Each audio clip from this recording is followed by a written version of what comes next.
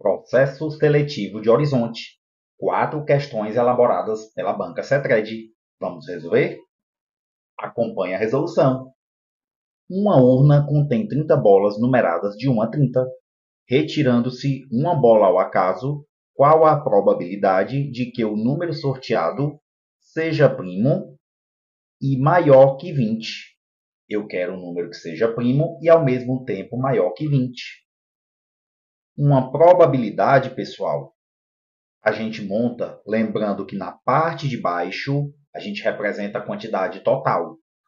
Se as bolas foram numeradas de 1 a 30, o total que eu tenho bem aqui são 30 situações. Então já sei que a parte de baixo da minha probabilidade é 30, pois é o total de bolinhas numeradas. Na parte de cima da probabilidade, eu tenho que ver quantas situações favoráveis eu tenho. Tenho que encontrar números que são maiores que 20, então vão de 21 a 30. Que sejam também primos. O que é que a gente sabe sobre números primos? O número primo é aquele número que só é divisível por 1 e por ele mesmo. O 21 eu sei que não é primo, porque ele é divisível por 1 e por 21, mas também é divisível por 3, por 7, não é primo. Todos esses números pares eu já sei que não são números primos, porque o único número primo que é par é o 2. O 23 é primo, pois só consigo dividir por 1 e por 23. O 25 não é primo, porque eu consigo dividir por 1 e por 25, mas também consigo dividir por 5. 27 também não é primo, porque eu consigo dividir por 3 e por 9. Já o 29 eu só consigo dividir por 1 e por 29, então ele é primo. Entre essas situações aqui, eu encontrei dois números que são maiores que 20 e ao mesmo tempo são números primos. Então eu escrevo aqui em cima 2 probabilidade, na parte de cima a quantidade de casos favoráveis. Então encontrei dois casos favoráveis e na parte de baixo a quantidade total de opções. De 1 a 30 nós temos 30 opções. Montei então essa fração 2 trintaavos, mas não tenho essa resposta nas opções, porque ainda preciso, turma, simplificar. Toda fração precisa estar na forma mais simples, na forma irredutível. Consigo perceber que dá para dividir em cima e embaixo por 2. 2 dividido por 2 fica 1 e 30 dividido por 2 fica 15. 1 quinzeavos. A gente marca o item C de cetoconazol. Questão 15. Um número adicionado a 8 resulta em 15. Qual é a soma dos algarismos do dobro desse número? Olha só que interessante. Um número que eu não sei quem é, adicionado a 8, resulta em 15 para descobrir que número é esse, é só resolver a equação. Vou passar o 8 para o outro lado, então fica 15 menos 8. Portanto, x vai ser igual a 7. Outra forma de fazer seria utilizando a operação inversa. Se eu sei que um número somado a 8 resulta em 15, era só diminuir 15 menos 8, que eu já descobriria o número inicial, que é 7. Aí a questão pede a soma dos algarismos do dobro desse número.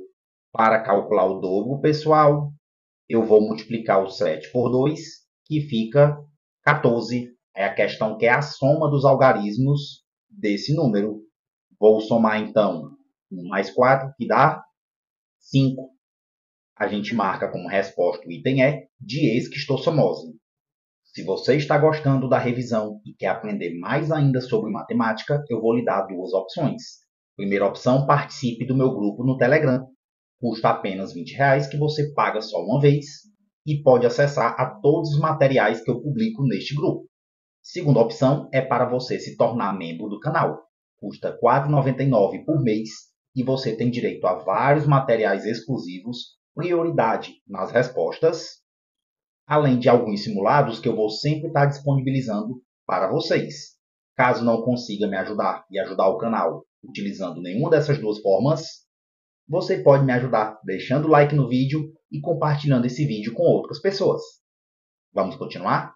De um grupo com 10 professores de uma escola serão escolhidos aleatoriamente dois professores para formarem uma equipe, de modo que um será o coordenador pedagógico e o outro será o coordenador administrativo.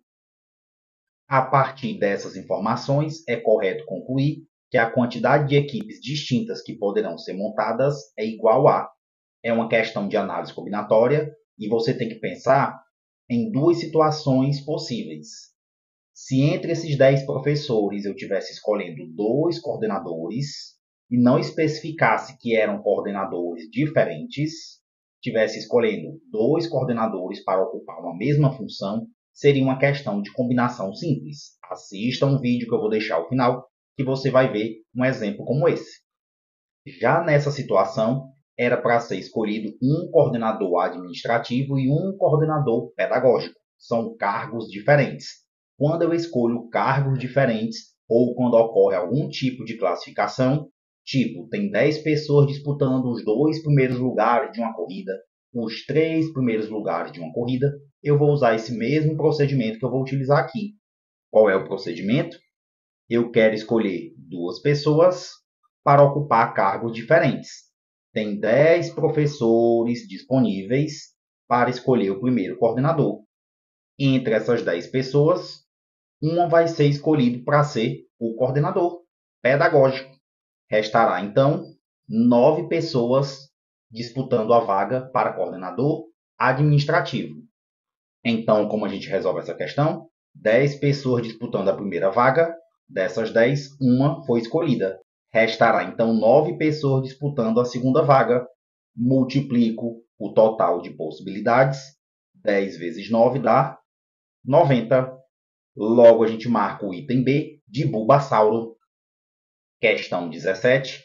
Um anagrama refere-se a um jogo de palavras ou expressões onde se reorganiza letras de uma palavra ou expressão para formar outras palavras ou expressões. Dessa forma, quantos anagramas a palavra texugo possui?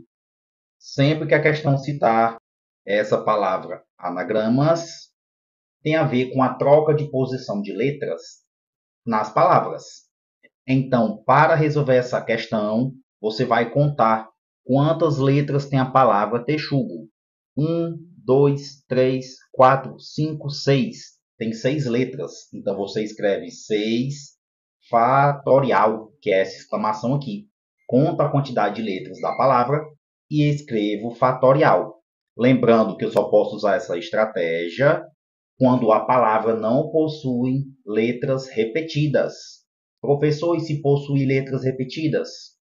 Eu vou deixar a sugestão de um vídeo aqui no canal para você assistir e entender essa outra situação. Como aqui texugo não possui letras repetidas, é só contar a quantidade de letras, que foi 6, e escrever a exclamação 6 fatorial. 6 fatorial é 6 vezes 5 vezes 4 vezes 3 vezes 2 vezes 1. Fazendo essa multiplicação, eu descubro a minha resposta. Multiplicando todos esses números, dá 720. A gente marca então o item D de dicotômico. Diz aqui nos comentários a sua sugestão de questão ou alguma dúvida que você queira me perguntar. Todas serão respondidas. Não esqueça de deixar o seu like no vídeo e analisar se você pode participar do meu grupo no Telegram ou ser membro do canal. Forte abraço e até uma próxima oportunidade.